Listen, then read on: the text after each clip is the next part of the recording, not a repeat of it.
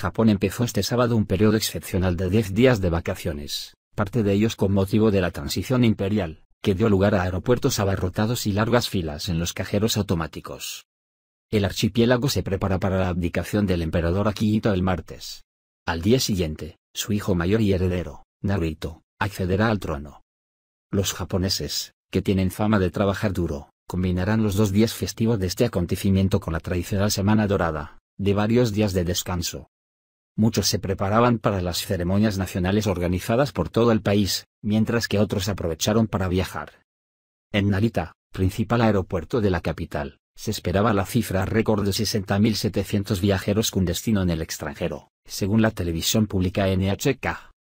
También se formaron largas filas para tomar el tren de alta velocidad Shinkansen en la estación de Tokio, mientras que las autovías también estaban a rebosar de vehículos saliendo de la capital. Según el operador turístico japonés JTB, se deberían alcanzar los 24,67 millones de viajeros, tanto dentro como fuera del país, en este periodo, un récord. Con los bancos cerrados hasta el 6 de mayo, el dinero empezó a escasear en los cajeros automáticos, en un país que sigue prefiriendo el efectivo a la tarjeta.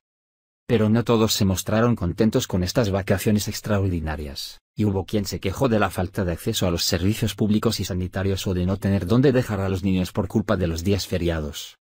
Según una encuesta del diario Asahi Shimbun, el 45% de los japoneses no se sentía feliz al tener tantas vacaciones, frente a un 35% que sí lo estaba.